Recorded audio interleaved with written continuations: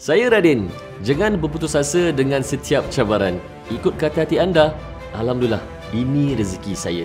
Saya percaya anda juga boleh.